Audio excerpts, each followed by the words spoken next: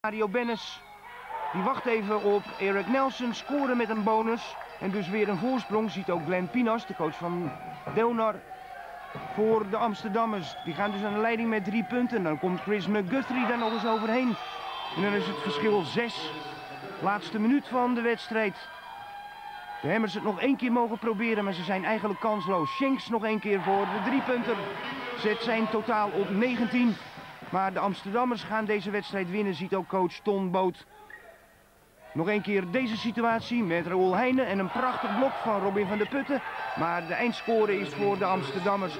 Zij winnen met 70-84 en weet coach Marco van den Berg dat deze tegenstander te sterk was. Amsterdam heeft uh, voortreffelijk gespeeld, erg goed verdedigd, heel agressief aangevallen. Uh, ze hebben eigenlijk uh, ons tempo gespeeld en dat hebben ze uitstekend uitgevoerd. En nou ja, wij hebben in de tweede helft de goede schoten gekregen, maar niet raak geschoten. En dan is het terecht dat je verliest. Desondanks blijf je de smaakmaker van de competitie met je ploeg. Ja, dat zeg jij en daar ben ik je heel dankbaar voor. En wij proberen onze eigen identiteit te houden en te gebruiken. En we hopen dat mensen dat leuk vinden. Zoals je ziet vinden ze dat ook leuk hier in Zwolle. En we proberen zo ver mogelijk mee te komen. Wat ze gelijk hebben. De revelatie van het seizoen. Met een plaats in de top van de eredivisie. Gisteren stond de wedstrijd van de waarheid op de rol. In en tegen Den Helder, de koploper, was het aan de Zwollenaren om te laten zien dat ze dit seizoen een rol van betekenis kunnen spelen. En die rol van betekenis zou moeten zijn het halen van de elite A. En meedoen in de top van de eredivisie, dat hielden de Zwollenaren precies vijf minuten vol in Den Helder. Toen was het 10 tegen 10, de score van Eric Nelson. Nu komen ze nog heel even voor door de score van Anthony Coombs, de spelverdeler van Zwolle. En daarna is het over, uit en sluiten. Vanaf dat moment, na vijf minuten dus, loopt Den Helder alleen maar uit. Sander van der Holst hier met een mislukte paas, de stiel inleveren bij Tony Miller, de spelverdeler van Den Helder. En die kan dan rustig naar zijn optie gaan zoeken. En de optie is Nie Nelson Ridgetts. Na vijf weken is hij weer terug en hij was luid en duidelijk aanwezig. En scoorde er lustig op los, deed eigenlijk wat Dan Shanks al wekenlang voor Zwolle doet. Hier is Dan Shanks niet in zijn gebruikelijke doen. Zoekt al twee wedstrijden achter elkaar ruzie. Eerst al van de week bij Amsterdam en nu weer bij Den Helder. Hij is in beide wedstrijden nagenoeg uit de wedstrijd gespeeld. Omdat beide ploegen besloten een speler op hem te zetten. Alleen maar op hem te letten. En dat was voldoende om de Zwollenaren van het scoren af te houden. Zwollenaren ook geen rebounds. Gedurende de hele wedstrijd eigenlijk geen enkele kans om bij te blijven bij Den Helder en Nie Nelson Ridgetts. Die schiet er vrolijk op los, haalt in de eerste helft maar liefst het mooie aantal van 18 punten. En Anthony Coombs wordt ineens een scorende, belangrijke scorende speler voor Zwolle. En dan de laatste score in de eerste helft, die komt op naam van John Dugan. En dan is het 47-30 bij rust. Het verschil is dan al 17. Onoverbrugbaar. En dat ziet ook Ton Boot, de coach van Amsterdam, die smiddags nog eventjes Den Bosch een flink pak slaag hadden gegeven in Amsterdam. En datzelfde pak slaag lag ook in het verschiet voor Zwolle. Want als je dit soort punten niet maakt, gewoon de simpele ballen... dan weet je bij Den Helder dat je het verschrikkelijk moeilijk gaat krijgen. En Den Helder wilde bewijzen dat het het beste team was in de eredivisie.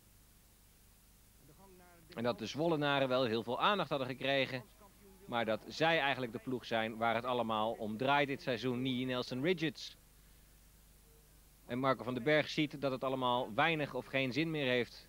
Zijn ploeg leidt een kansloze nederlaag tegen Den Helder met veel dank aan Nie Nelson Richards. Goed voor 30 punten. En dit is Delmay Harriman, de man die Dan Shanks voor een groot gedeelte uit de wedstrijd speelde. Den Helder wint uiteindelijk met ruime cijfers 92 tegen 65. Aandacht voor het laatste punt van Jeroen Bart. En dan legt Marco van den Berg uit waarom Zwolle verliest van de toppers in de eredivisie. Omdat ik denk dat wij dus blijkbaar nog niet goed genoeg zijn om uh, dit soort wedstrijden op het scherpst van de snede te kunnen spelen. Mensen uh, gaan in plaats van door de druk om naar een hoger niveau toe, gaan ze naar een lager niveau toe. En deze topteams die, die, die, die nemen natuurlijk onze belangrijkere opties zoveel mogelijk weg. En dat heeft tot gevolg dat er andere opties gekozen moeten worden. En die nemen nog niet voldoende. Dus nou, je blijft vijf minuten bij. Dan geen schoten, geen rebounds. Einde wedstrijd voor Zwolle, denk ik. Ja, Den Helder speelt zijn individuele kwaliteit echt uit. En wij kunnen daar collectief niks tegenover stellen. En dan is het kansloze zaak.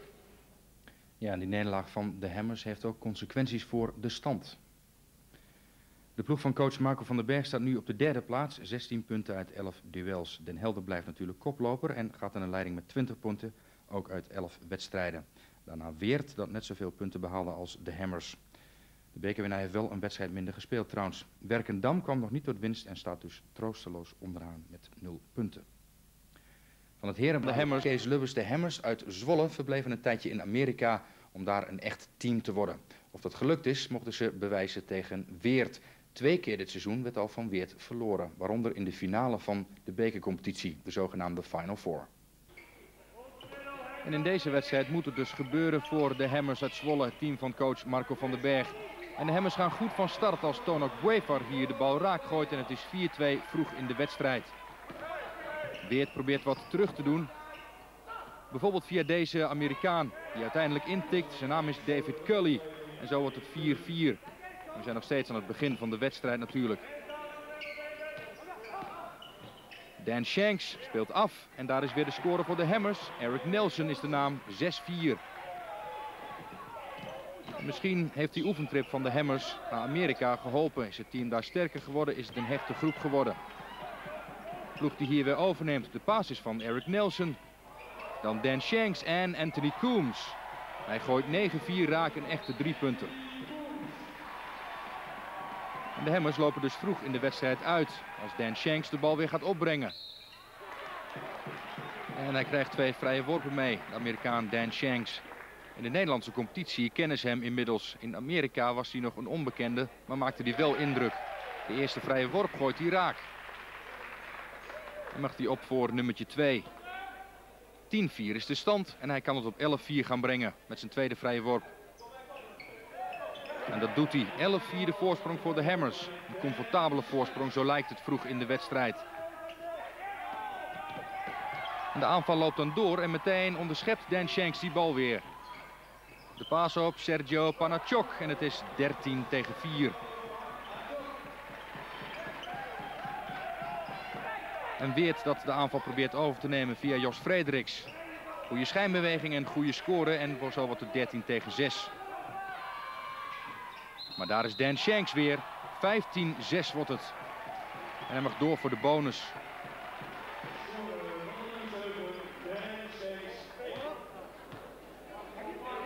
De Amerikaan Dan Shanks met de bonus. Ook die is raak. 16-6. 10 punten voorsprong voor de Hammers op dat moment in de wedstrijd. Maar het verschil van 10 punten zal langzaam terug gaan lopen. Zien hier de score voor de Hammers van Sergio Panachok. Het is dan 23-19. En komt weer toch steeds dichterbij in de wedstrijd.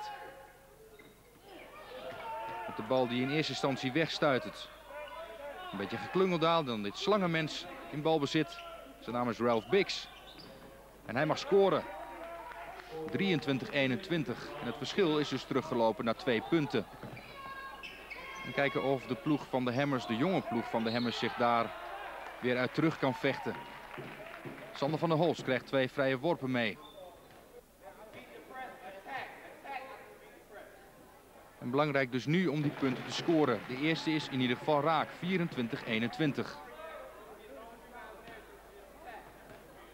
En de tweede voor Sander van der Holst. 25-21. Het verschil dus weer naar vier punten voor de Hammers. En de ploeg uit Zwolle mag opnieuw gaan aanvallen met Dan Shanks. Gaat er alleen door. En scoort 27-21. Goede fase weer voor de Hammers. Die langzaam weer uitlopen in de wedstrijd. Maar Weert is geen ploeg die je moet onderschatten. En kiezen dan meteen weer de aanval. We hebben een sprongetje gemaakt in de wedstrijd. En hier is het Jos Frederiks die 31-29 aantekent. En opnieuw de aanval voor Weert. Op weg naar de gelijke stand. Met Ralph Biggs, dat slangenmens. En hier die andere Amerikaan. En hij scoort David Cully. De man met nummer 15. Die meteen door mag voor de bonus. En zo brengt hij zijn ploeg op voorsprong 31-32 is het dan. De voorsprong in de wedstrijd nu voor Weert. En die ploeg zou in de rust ook een voorsprong hebben van 38-41. En dit zijn de beelden uit de tweede helft. Waar de Hammers natuurlijk wat aan die achterstand gaat doen. Met de score van Anthony Coombs. We zijn een eindje onderweg in de tweede helft. En de Hammers heeft weer een voorsprong genomen van drie punten. 74-71 is het op dit moment. Maar Weert heeft deze Amerikaan. Ralph Biggs is zijn naam. Hij scoort een driepunter. 74-74. En zo laat de Hammers weer toch weer terugkomen in de wedstrijd. Of is het gewoon de verdienste van Weert? Dat kan natuurlijk ook. Dan Shanks probeert het opnieuw. Maar scoort niet. En zo is het toch een moeilijke fase voor de ploeg van coach Marco van den Berg. Die dan zijn jonge team maar even naar de kant moet roepen voor een time-out. Om toch even wat zaken recht te zetten. De vrije worp laat nog even op zich wachten. En Van den Berg spreekt zijn mannen toe. Hij weet dat er in principe gewonnen moet worden van Weert. En het kan ook in deze wedstrijd. De mogelijkheden zijn er. De vrije worp is raak. Opnieuw van die Amerikaan David Cully. 74-75. Eén puntje voorsprong dus voor de gasten uit Weert. En de Hammers weer met de treffen van Anthony Coombs. Dus weer een puntje voorsprong voor de Hammers. En zo is het een leuke, spannende slotfase. Als Weert weer scoort. Ja, Lekan Samfun. En de Hammers weer moet scoren, maar dat doen ze niet. En dus weer de overname voor Weert. Opnieuw de score van Lekan Samfun. 76-79 is het dan. En zal Weert hier dan een beslissende voorsprong gaan nemen aan het slot van die wedstrijd. Dan Shanks. Moet het oppakken. Moet hij dan zijn eentje doen in deze wedstrijd. Het lijkt er wel op. Maar hij kan niet scoren, want hij werd gehinderd door David Cully. En dus twee vrije worpen voor de Amerikaan van de Hammers. Hij gooit de eerste raak. En moet in deze belangrijke fase ook de tweede raak gooien. Hij geeft thuis in ieder geval Dan Shanks. 78-79. Het verschil werd teruggebracht naar één puntje. En opnieuw de Hammers in de aanval. Met weer Dan Shanks. Is die man dan zo belangrijk voor de Hammers? Krijgt weer een vrije worp mee. Twee zelfs. De eerste was al raak en dit is de tweede en ook die is raak. En dus weer één punt voorsprong voor de Hammers. 80-79. Maar hier is Ralph Biggs weer. En hij scoort een driepunter. 80-82. Twee punten voorsprong voor Weert. En zo blijft het aan het eind van die wedstrijd een beetje op en neer gaan. En is Weert weer in de aanval. En is het hier David Cully die de bal oppakt. En hij scoort 84-85 waar Weert dan weer één puntje voorsprong neemt aan het slot van de wedstrijd. En is dat de beslissende voorsprong? Hij mag door voor de bonus. Dan kan de beslissing er helemaal zijn, maar die is er nog niet. En de Hammers heeft nog tijd om van die achterstand terug te komen. Eén puntje verschil in het voordeel van Weert. 84-85 in het slot van de wedstrijd. En hier de vrije worpen voor de Hammers. Eric Nelson. De overtreding is tegen hem gemaakt. En de mogelijkheid tot twee vrije worpen. En een optelsommetje leert ons dan, als je ze allebei raak gooit, sta je voor. Maar deze is niet raak. Nu kun je alleen nog maar gelijk komen. 84-85 de stand. En de druk op deze Amerikaan Eric Nelson met nummer 12. Om die tweede dan wel raak te gooien. En ook die gaat mis. Het blijft 84-85. En dat was misschien wel de laatste mogelijkheid voor de Hammers om nog op een voorsprong te komen in deze wedstrijd. Heel weinig tijd is er nog bij deze sprongbal en Weert gaat er weer vandoor. De wedstrijd is dan al bekeken en al was hij erin gegaan, hij had niet meer geteld. Het blijft bij 84 tegen 85. En dan kan Marco van den Berg nog even in discussie met scheidsrechter Henk van Eck. Maar dat helpt allemaal niet. Ja, verlies dus voor de Hammers. Sneuverlies mag je zeggen. Weer was weer te sterk. Laten we even naar de stand gaan kijken in deze eredivisie bij het basketbal. Den Helder nog steeds aan kop. 24 punten uit 13 duels. Weert daarachter dan Amsterdam. En op de vierde plek Kees Lubbers, de Hammers. Met één wedstrijd minder gespeeld dan de rest. En dat komt natuurlijk omdat ze in Amerika hebben gezeten. Onderaan heeft Drenthe slechts twee punten. Den Helder is koploper, maar de vijf plaatsen daarachter zijn ook nog heel belangrijk, want die geven namelijk recht op de zogenaamde elitepool, de play-offs. Um, Zwolle staat vijfde en moest gisteren op bezoek bij Almere. En Almere is een club met een verhaal. De basketbalploeg van Almere geldt als opleidingsinstituut. Het is een alternatief voor de jonge spelers die momenteel nog met bosjes gelijk naar Amerika gaan. De ploeg van Almere bevat vijf jongens van plusminus 18 jaar. Maurice Koevoet, Niels Vorenhout, Niels Meijer, Remy van der Luit en Arden Kuzel. Almere biedt daarvoor iedere dag trainingen, schoolvoorzieningen, huisvesting en een leuk salaris toe. En ervaren spelers ook, zoals deze Martin Essayas, voorheen voor Amsterdam. En wat te denken van de aanvoerder en assistentcoach Kees van Rootselaar, 32 jaar en nog altijd gretig. Goede omstandigheden dus voor een coach als Jan Eggens. We hebben hier toch uh, een gemeente achter staan die, uh, ja, die verschrikkelijk veel doet. Dat is uniek in het basketbal. In voetbal gebeurt dat dan wel wat vaker denk ik. Maar uh, in basketbal heb ik dat nog niet eerder meegemaakt. Dat een gemeente gewoon voor vier jaar garant staat voor, voor 2 miljoen. Dat is 5 ton per jaar, dat is natuurlijk super. Ze hebben de hal keurig aangekleed. Een mooie autovloer erin. Facilitair, zeg maar, in facilitair opzicht werken ze aan alle kanten mee. Dus daar zijn we heel erg tevreden mee. Met het geld en de faciliteiten zit het wel goed, maar nu de plaats op de ranglijst. Negende. Wat wij als doel hebben gesteld is uh, dat we play-offs willen halen. Dus dat betekent... Zesde plaats. Nee, dat betekent, Joop, je weet net zo goed als ik, dat de eerste acht om de play-offs meedoen. En dat is voor het eerste jaar denk ik voor ons ja, een, een behoorlijke uh, doelstelling. Dat betekent toch dat wij nog boven Rotterdam en boven uh, Utrecht uit moeten gaan komen. En is dat haalbaar? Ja, dat is haalbaar. Ja hoor, ik denk wel. Tweede helft van de wedstrijd met balbezit voor Almere. In het wit dus met Kees van Rootselaar. Die drukt af voor een driepunter. Het is zijn achttiende punt in de wedstrijd al.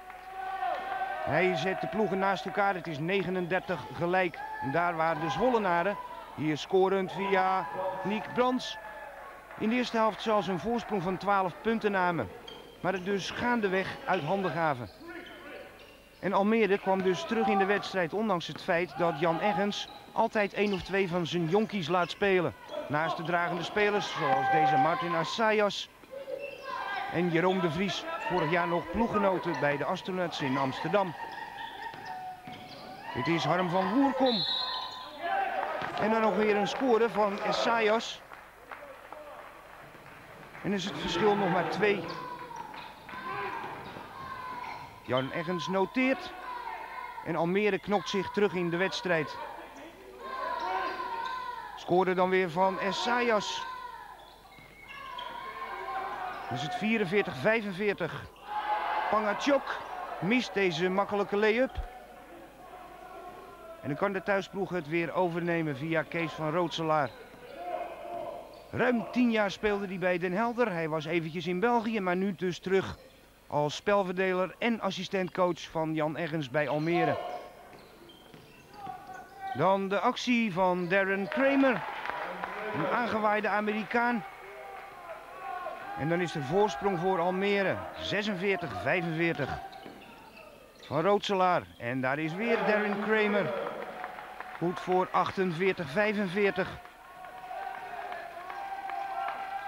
Dan de Zwolse ploeg. Die een beetje wat vermoeide indruk maakt na hun trip in Amerika. Ze speelden daar een groot aantal wedstrijden tegen college teams. Dan de actie. En die bal valt goed. De driepunter van Maurice Koevoet. Kreeg ook nog een bonusvrije worp en dus een actie goed voor vier punten. En een tussenstand van 52-45. Dan weer de Zwollenaren met Sander van der Holst. En de driepunter die niet bepaald gelukkig viel voor de Zwollenaren. Dus weer Almere, ook met een driepunter. Het handelsmerk van Jeroen de Vries. Zo deed hij het in Apollo Hall en zo doet hij het ook in Almere. En dus loopt zijn ploeg naar 56-45. Een aanzienlijk gat 12 punten achter en nu 11 punten voor. Eric Nelson, veel minder opvallend aanwezig dan in het begin van de competitie. Tekent hiervoor een score 56-47. Weer een nuttige rebound voor Martin Essayas. Hij buffelt met zijn 35 jaar prima bij de polderploeg. En weer Jeroen de Vries met de driepunter. Zo is het 59-47.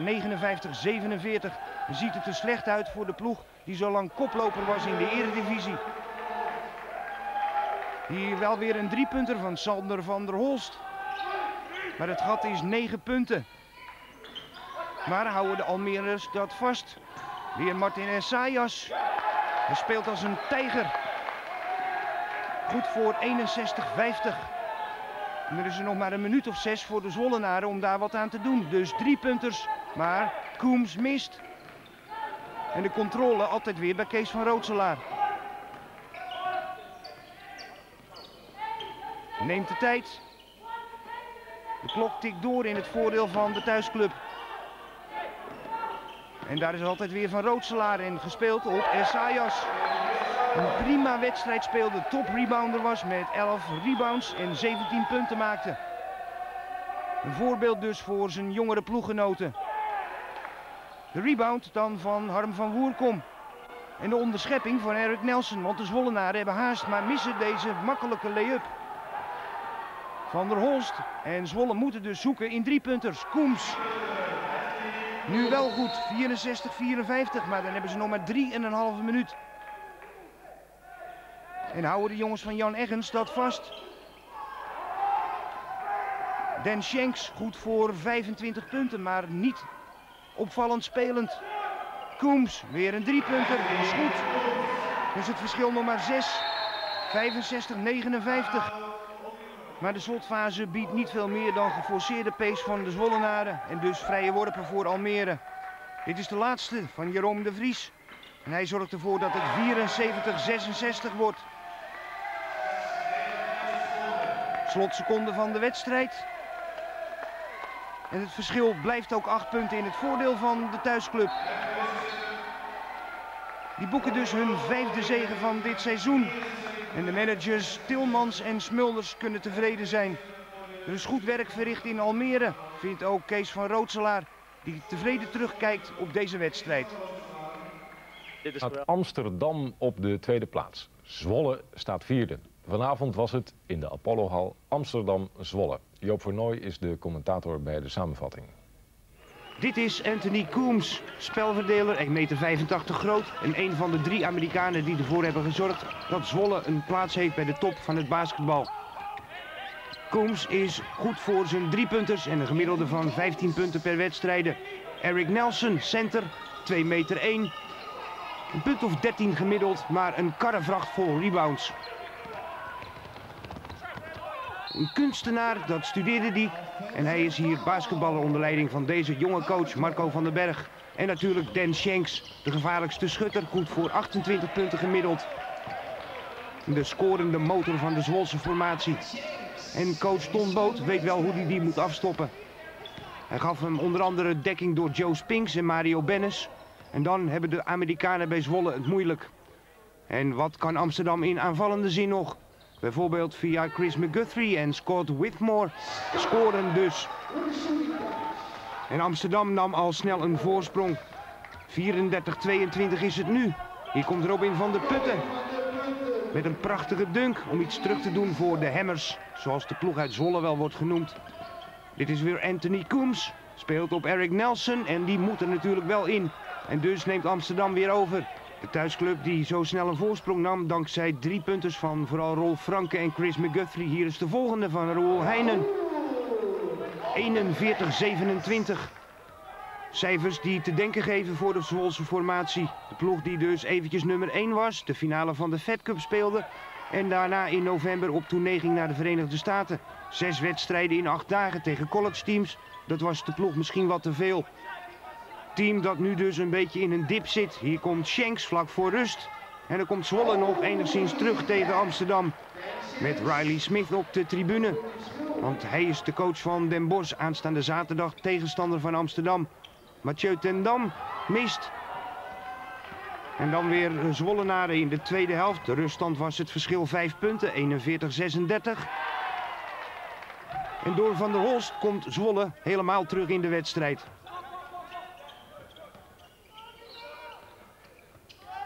Dan de driepunter van Rolf Franke geeft weer eventjes lucht aan de thuisclub. 48-46.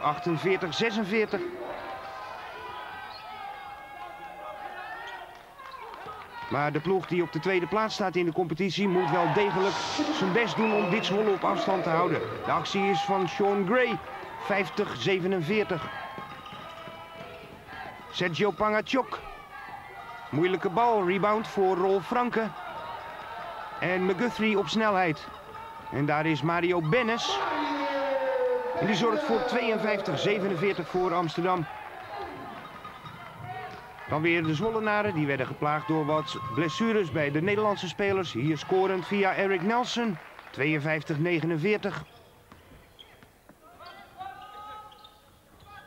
Maar de Zwolse ploeg zou om werkelijk in de top te spelen nog wel een versterking kunnen gebruiken om de Amerikanen wat te ontlasten en wat meer gevaar onder de baskets te zorgen.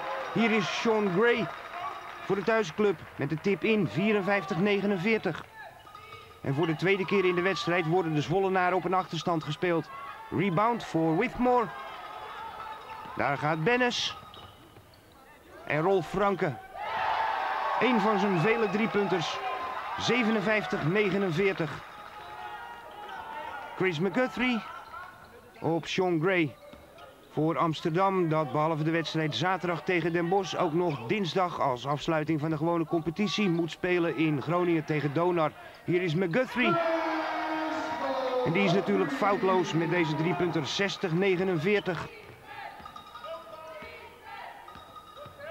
En dan is de tweede demarage van de thuisclub een feit. Sander van der Holst. En de Hemmers zoeken nog weer naar het gaatje om terug te komen.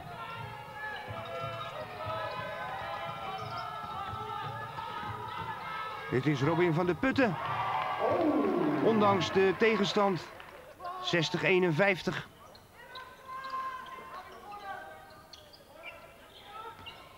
McGuthrie en daar is Mario Bennis. En dan komt Amsterdam helemaal niet meer in gevaar. 62-51. Maar blijft het de vraag of Amsterdam ondanks een serie overwinningen nog in de buurt van de nummer 1 Den Helder kan komen. Het is daarvoor afhankelijk van wat misstappen van de mannen van Den Helder. Dit is Scott Withmore voor 65-53. En hij viert het feest met de bank. Het laatste schot is van Rolf Franke. Treft geen doel. Het blijft 72-56. Amsterdam blijft tweede en Zwolle zakt naar de vijfde plaats.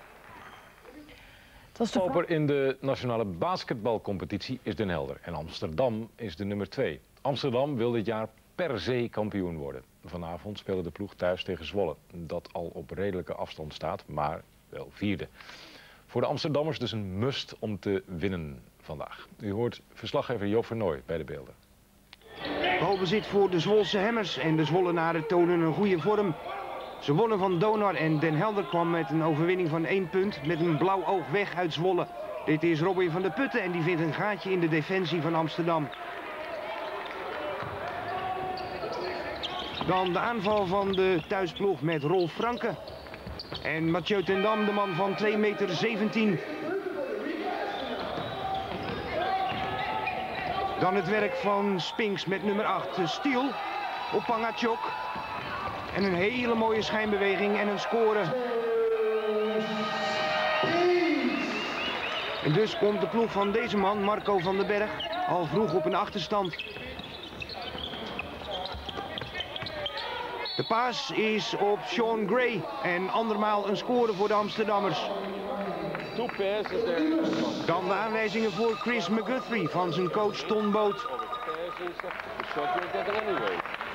Boot die weet wat het is om een kampioensploeg te kneden. Hij deed dat eerder bij Den Bosch, bij Den Helder, bij Oostende in België. En hij is nu dus aan de slag in Amsterdam. Aanval van de thuisclub, stand 22-14. Actie Milko Lieverst. 24-14. En dan zet Amsterdam aan voor een tussensprint. Dit is Tono Brevar voor Zwolle. Short little jumper. Maar dan de thuisclub dus. Mario Bennis, een driepunter. 32-16 is het dan ineens.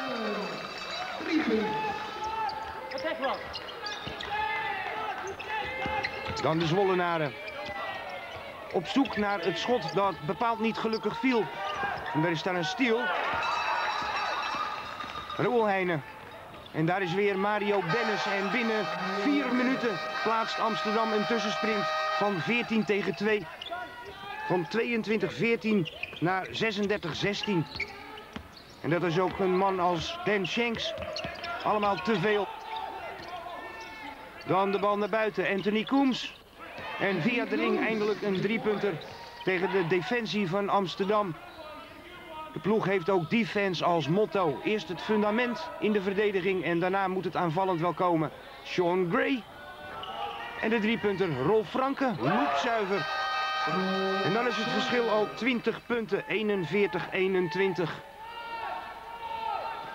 Slotseconde voor rust. Nog één actie van Mario Bennis. En de score bij de T, het is 43-21. En dan kan Amsterdam op zoek naar de wat fraaiere momenten. De leuke scores. Sean Gray. Omhoog en scorend. 51-32. Milko Lieverst. En daar is hij weer Joe Spinks op Franke. En maar weer eens een driepunter 54-32. Onderschepping dan van Joe Spinks. McGuthrie is niet zelfzuchtig vandaag. En daar is weer Gray. En zo bouwen de Amsterdammers de voorsprong van 20 punten steeds verder uit. Tegen de Zwollenaren, die, dat moet gezegd, een smalle ploeg hebben dankzij wat blessures. En bovendien de lengte en spierballen missen om heel veel van dit soort acties, zoals deze van Eric Nelson, te maken. Dan weer Dan Shanks. Bewijst zijn schutterskwaliteiten. Maar het verschil is al te groot. Mario Bennis met de soloactie. En daar is dan weer Gray die mag scoren. 69-48 is het dan al. Want zoals gezegd, de Zwollenaren missen de spierkracht en de brutaliteit die de Amsterdammers wel hebben. Actie van Spinks. 71-48. Dan de uitgedunde Zwolse ploeg. Coach Marco van den Berg moest zelfs de 17-jarige Herbert Jansen veel minuten laten maken. Scoort weer eens via Sander van der Holst. Spinks.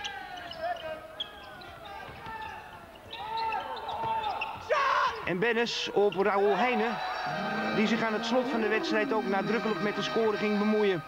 En behalve dat scoren had Amsterdam ook een groot overwicht in de rebounds. 42 om 33. En bovendien, nu Den Shanks nog eens tegenscoort, hadden de Amsterdammers zes mensen in de dubbele cijfers. Zoals deze Raoul Heijnen, werkend aan een serie van 11 punten.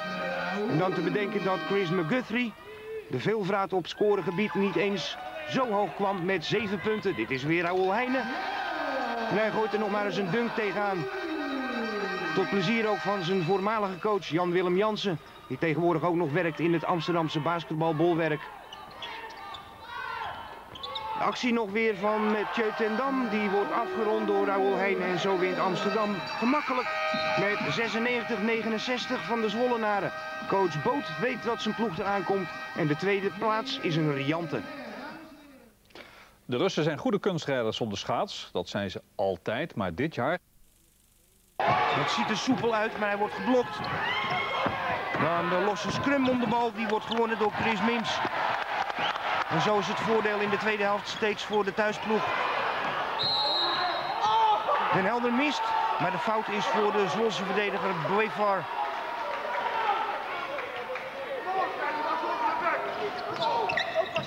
Driekwart van de wedstrijd speelde Zwolle prima. Maar had aan het einde geen verweer tegen dit soort acties zoals die van Nie Nelson Richards. Weer Nie. Prima wedstrijd van hem en van Chris Mims. En zo dwingen ze Zwolle in het laatste deel van de wedstrijd op de knieën. Shanks. Hij wilde te veel. Nu scoort hij weer niet. En profiteert weer Den Helder. Miller opnieuw Nelson Richards. En zo maak je als koploper en landskampioen een wedstrijd af. Het wordt 79-64 dankzij Nie en deze trapezewerker Chris Mims. Met de dunk van Nelson. Die play-offs waar ze natuurlijk gaan voor de winst in elke wedstrijd. Maar niet hoeven te rekenen op het landskampioenschap. Dat zou tenminste een hele grote verrassing zijn. Deze wedstrijden kun je mooi oefenen in de play-off straks eventueel verrassen. De score was er van Eric Nelson. En hij mag door voor de bonus. Die dan misgaat en de stand is 22-19. Op dat moment in het voordeel van de Hammers. En de Hammers gaan er opnieuw vandoor op weg naar de grotere voorsprong. Dan Shanks, ja hoor, drie punter. 25-19 is het dan. Dan Shanks die zo langzamerhand in de Nederlandse competitie een beetje beginnen te kennen. Vorige week had hij daar veel moeite toen hij in de eerste helft niet tot scoren kwam. Maken we een sprongetje in de wedstrijd en is het 31-31 de gelijke stand.